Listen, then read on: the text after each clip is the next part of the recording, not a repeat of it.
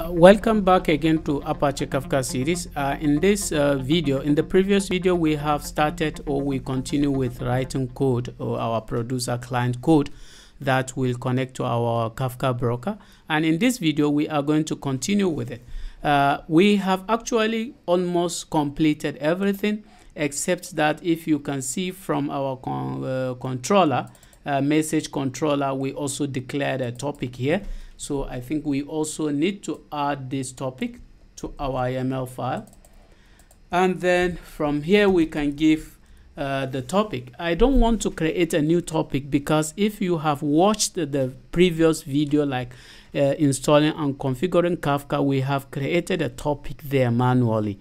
So I want to use that Kafka uh, series uh, dash one topic. So here I'm giving the topic name. So uh, next, what we are going to do, uh, let's start our application and see, uh, is it connecting to Kafka or is there any problem? Uh, before starting this video, I have already started our Kafka, the previous Kafka that we have configured uh, in the previous videos, uh, both the Kafka and the Zookeeper. They are now running in the background uh, so we are going to connect to them and these are the ports of the Kafka host uh, or uh, Kafka brokers and the ports that I have configured previously. So now we are just going to run this application and see that is it connecting to Kafka or not. And if it is not connecting, what is the problem? Then we will figure out and then uh, make sure that it works. So uh, we can just start the application from here. Uh, let me start it in debug mode so that we may see the messages or error messages if there is any. So let's see then.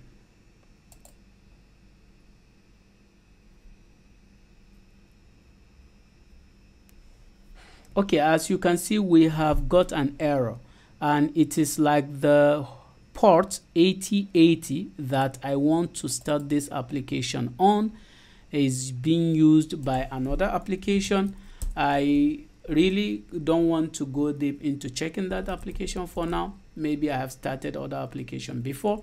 So I just want to give another server port, which is 1990 and continue with it. So I prefer this to be on top. Why is it here? So now I give 1990 and I will start the application again. Let's see what will happen. So as you can see now, the, the application has uh, started and now it is running on port 1990. So we are going to use a postman to send a message uh, to our Kafka broker uh, through this application. But before then, uh, let's start a Kafka consumer uh, at the back uh, so that uh, we can see the message that we have sent. Because now we only write our client application as producer but still we don't have uh, consumer client from I, I mean Java consumer client that we wrote ourselves. So before we write that for now we are going to use the default Kafka console consumer. So now I'm connecting the consumer uh, to the Kafka broker and the consumer now is waiting for messages. And let's go to Postman and create a message. So our functions are post method, uh, as you can see from the controller here. Where is the controller? They are all post method and we have a sync. Let me even copy directly from here. We have async and sync.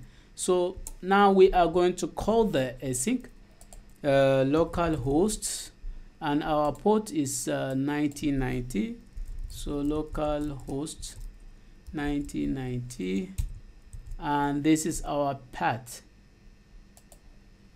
local host 1990 uh, so now in our body you know we have a message uh, that we send. And in that message we have id in our request sa1 and we also have like a message.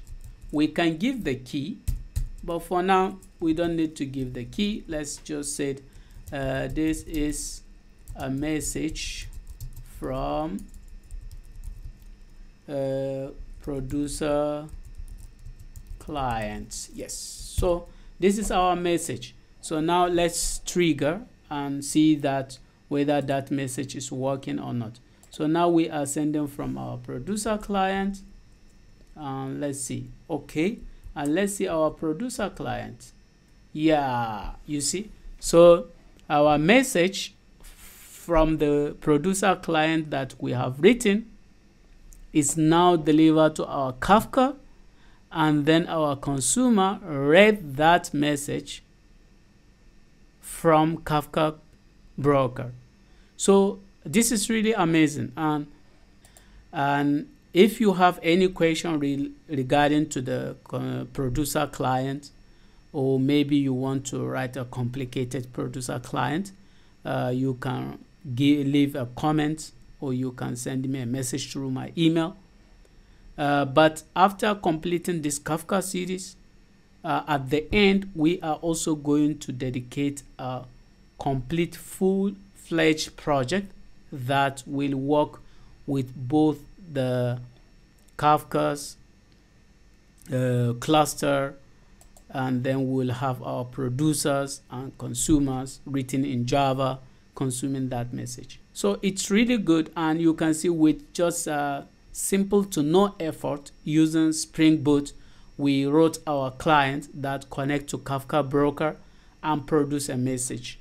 And if you have any message or if sorry, if you have any question, you can uh, leave a comment or send me a question through my email uh, and I will do my best to see that I will assist you through that.